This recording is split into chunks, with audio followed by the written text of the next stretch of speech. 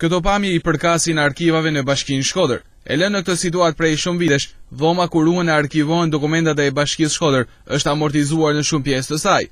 Dëmtimet për shkak të degradimit gradual dhe mungesës së vëmendjes janë evidente, pothuajse në gjithë hapësirën ku ndodhet arkiva e bashkisë. Në këtë mënyrë kryetarja e bashkisë Voltana Ademi ka menduar që të vërë dorë duke qenë se arkiva për një institucion është një prej pjesëve më të rëndësishme, e cila kërkon një trajtim të veçantë. Kështu në mbledhjen e radhës së Këshillit Bashkiak me 4 dhjetor, pritet që të miratohet një fond për restaurimin e arkivës së bashkisë.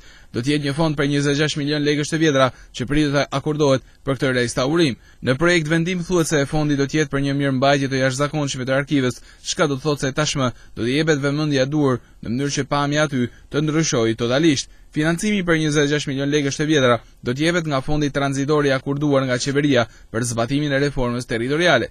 Në projekt vendim bashkia bën të ditur se ambienti ku do të ndërhyhet është jashtë kushteve teknike dhe standardeve që duhet të plotësojë për t'u përdorur si arkivi i këtij institucioni. Suvaja në disa pjesë është e amortizuar dhe përbën burim lagështire, ashtu siç vetratat janë të konsumuara dhe kërkojnë zëvendësim për të penguar depërtimin e shiut. Po ashtu, bëhet e ditur se në atë arkiv duhet që të përfshihet i gjithë dokumentacioni i Bashkisë së Re të Shkodrës, në të cilën aktualisht mungojnë kushtet minimale. Ventilimi është një tjetër shqetësim për sa i përket ruajtjes dhe konservimit të dokumentave, ashtu siç një rrezik përbëjnë edhe sistemi i furnizimit me energji elektrike apo amortizimi i pajisjeve të ndriçimit. Për gjitha këto do të ndërhyhet për të bërë që Arkiva e Bashkisë Shkodër të mos jetë e rrezikuar dhe të qëndrojë në një mjedis normal.